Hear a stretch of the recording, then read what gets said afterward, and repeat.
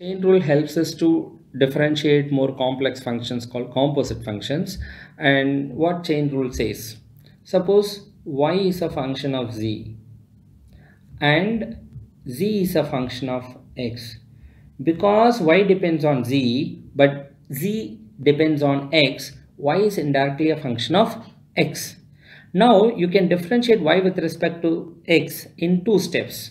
First step is keep your dy by dx will be differentiation of y with respect to z and then differentiation of z with respect to x. So this has to be carried out in two steps.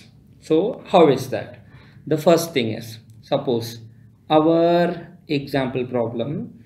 So our y equal to z cube but z is actually equal to 3x square plus 2 then in such case first dy by dx is actually dy by dz into dz by dx. What is dy by dz? D by dz of z cube into d by dx of z which is 3x square plus 2 so d by dz of z cube is 3z power 3 minus 1 and d by dx of 3x square by 2 is actually sum rule actually 3 times x square differentiation 2x power 2 minus 1 plus differentiation of 2 is 0 so it is 3z square into 6x power 1 but z is actually equal to 3x square by 2 so this has to be 3 times x square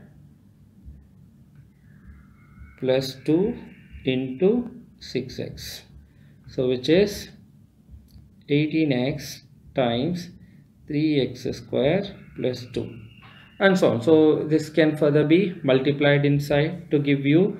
So 54x cube plus 36x so suppose if i give you in one step suppose well, how do we do it? Suppose our y is cos of x cube.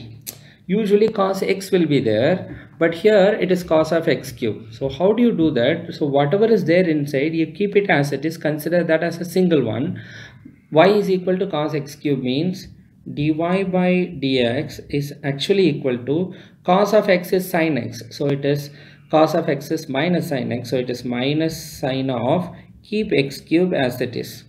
And consider x cube as another function and differentiate that. So d by dx of x cube.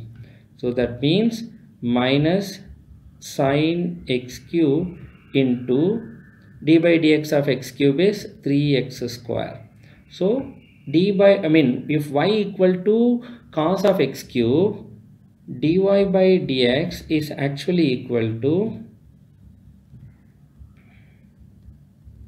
minus 3x square into sine x cube.